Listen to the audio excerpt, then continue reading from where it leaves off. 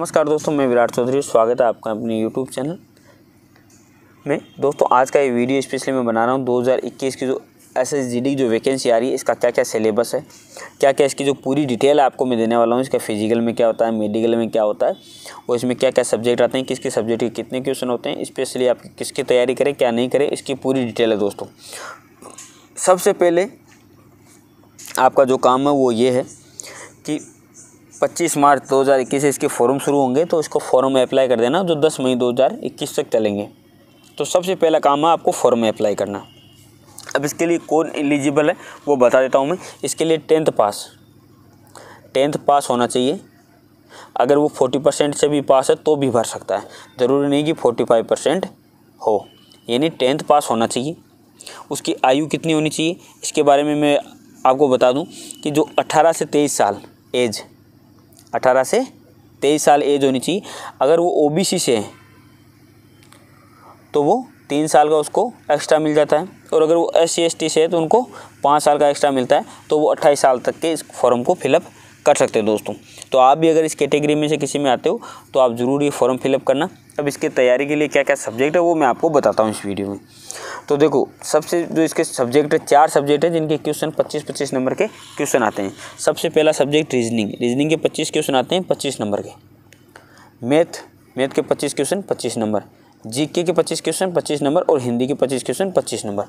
जो हिंदी आती है, इसमें ग्रामर आती है। इसके अलावा जो हिंदी की जो वोकेबलरी होते हैं, जैसे मुहावरे हो गए, इनकी जो ग्रामर ये मान लीजिए हिंदी की ग्रामर आती है। ठीक है, जिसमें मुआवरे पर्यायवाची शब्द, विलोम शब्द, ये सभी इस प्रकार के आते हैं। आपको S S G special Hindi की बुक मिल जाएगी दोस्तों। जीके में आपको पता ही हिस्ट्री हो गई, अब कंप्यूटर भी एड हो गया है, या पॉलिटिक्स है।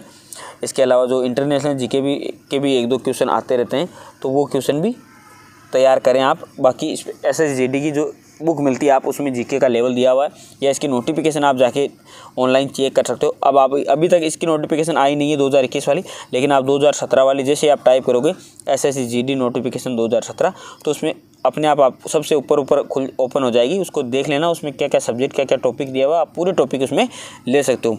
जो मोस्ट जो टॉपिक रहेंगे, वो पूरी की पूरी डिटेल ले सकते हो। मैथ के आपको पता ही है कि मैथ के 25 नंबर के 25 क्वेश्चन होते हैं और रीजनिंग के 25 नंबर के 25 क्वेश्चन होते हैं। इनमें एक चीज़, एक सबसे जो बेनिफिट मिलता है अभी तक इसमें नेगेटिव मार्किंग नहीं है। तो जब भी आप इसका पेपर दो तो पूरे के पूरे क्वेश्चन अटेंड करना। हाँ अगर नई नोटिफिकेशन में अगर नेगेटिव क्वेश्चन दे देते हैं, तब आप ये गलती नहीं करना। लेकिन अभी के अनुसार आप ये कर सकते हो कि जितने भी आपको क्वेश्चन दिए हुए हैं, उन सभी को अटेंड करना है, चाहे कुछ भी हो। तो सबसे पहले इसका होता है, आपको फॉर्म फिलअप करना, उसके बाद में आपका एग्ज़ाम होगा। अभी प्रजेंट टाइम में जो एस एस की वैकेंसी चल रही है, उसका एग्ज़ाम आपको पता अगस्त में एग्ज़ाम है तो अभी से आप तैयारी शुरू कर दें। और जो मैथ और रीजनिंग की आप तैयारी मेरे साथ कर ही सकते हो। मैं मैथ और रीजनिंग की काफ़ी वीडियो डालता हूँ तो आप मेरे साथ तैयारी कर सकते हो। इसके अलावा, अब इसके बाद में होता है इसका फ़िज़िकल तो दोस्तों फ़िज़िकल में क्या होता है? फ़िज़िकल में होता है मेल के लिए पाँच किलोमीटर रनिंग चौबीस मिनट में और फीमेल के लिए वन पॉइंट सिक्स किलोमीटर, यानी सोलह सौ मीटर की रनिंग होती है, आठ मिनट तीस सेकंड, उसके में टाइम मिलता है दोस्तों। ये हो गया मेल और फीमेल के लिए। रनिंग सभी के लिए सेम है, इसमें कोई छूट नहीं है किसी को। अब होता है हाइट। हाइट की बात करें तो एक सौ सत्तर सेंटीमीटर जनरल ओबीसी और एस के लिए। और फीमेल की वन फिफ्टी सेवन। एस को स्पेशल छूट मिलती है इसमें। हाइट में one sixty two point five इनकी चाहिए हाइट।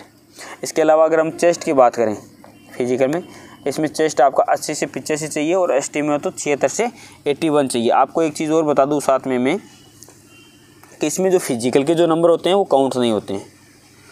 फ़िज़िकल केवल आपको सिर्फ़ पास होना है। फ़िज़िकल के कोई नंबर नहीं होता है, क्योंकि जो इसकी मेरिट बनती है वो केवल नंबर बेस पे ही बनती है। तो आपको ज़्यादा से ज़्यादा नंबर लाने की कोशिश करनी है ज़्यादा से ज़्यादा तैयारी करनी, आपको फ़िज़िकल में केवल पासिंग मार्क ही मिलने चाहिए। इतना हो जाए तो बहुत। इसके बाद में होता है इसका मेडिकल तो मेडिकल में क्या क्या होता है? मेडिकल पूरा होता है, लेकिन आर्मी अगर आप आर्मी के मेडिकल में रहे हो तो भी आपको घबराने की बात नहीं है, क्योंकि इसमें मेडिकल में कुछ चीज़ों में छूट है। जैसे आपका अगर दांत ज़्यादा है, अगर उंगली में छोटी मोटी कट पिट है, या कहीं चोट आई हुई है, या आपके दांत ज़्यादा है, या थोड़ा सा नाक में प्रॉब्लम है, नाक टेढ़ा वेढ़ा है तो भी आपको घबराने की ज़रूरत नहीं है। आप इसका मेडिकल देना, आप मेडिकल में पास हो जाओगे, क्योंकि आर्मी से थोड़ा सा छूट मिलती है इसमें। मान लो कि बीस परसेंट तक मेडिकल में इसमें छूट मिल जाती है। तो अगर आप आर्मी का मेडिकल फेल भी हो, या आपकी उंगली में जैसे चोट वोट लगी इस प्रकार की जैसे मेरी उंगली में लगी है तो भी आपको घबराने की टेंशन नहीं है या चिंता करने की ज़रूरत नहीं है। आप फिट हो सकते हो इसमें। तो फिर मेडिकल होता है, और मेडिकल मैंने बता दिया कि आप फिट हो सकते हो तो आप ज़रूर ट्राई करना। और फिर होती है फाइनल मेरिट फिर माइल मेट में सिलेक्शन होने के बाद में आपका नंबर आ जाएगा और आप ज्वाइन कर लोगे एस एस के through B S F C R P F C I S F इन सभी को दोस्तों। जय हिंद, जय भारत।